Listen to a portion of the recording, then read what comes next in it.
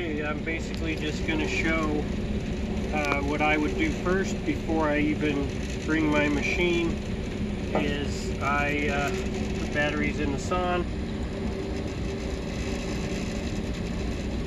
I'm using two quarters. Works better than a screwdriver.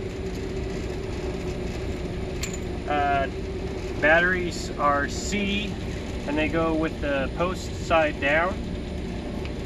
I've already got two in there.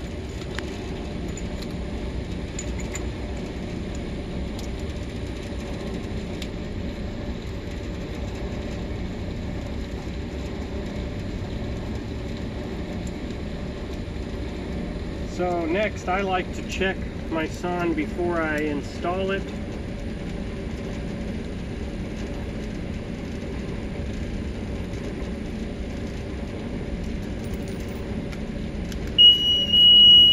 Here I'm turning on the DigiTrak system. It should come to a home screen here. There's the home screen. Now basically it shows a clock face, the pitch, the strength of the signal, the temperature, the battery life of the batteries in this receiver.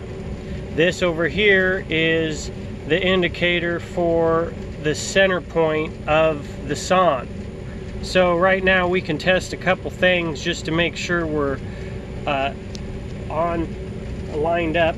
First of all, I can verify that this is at 12 o'clock and it's at 6 o'clock. And that's done with this little groove on the Sonde. Has that little channel. Now, I'm going to take this Sonde. We know it's working. It's like brand new. Uh, and I'm going to load it in this drill head, which drill head has a curve to it. And by aligning the curve with the clock face, you can steer it very accurately.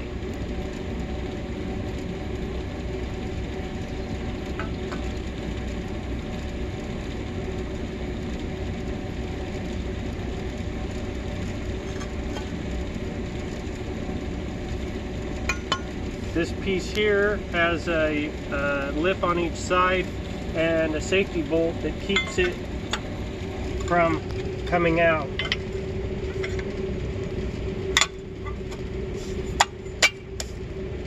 Here's a safety bolt. It's a 5 16 Allen hex screw.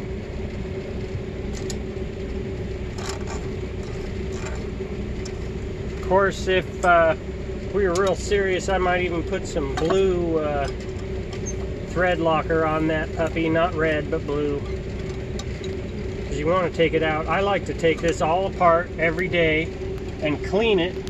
I didn't clean this one well enough last time, but uh, basically clean it down with water and then I even like to squirt a little WD-40 on it to keep it fresh. Okay, here again we're at 6 o'clock and 12 o'clock. Looks like we're lined up. Okay.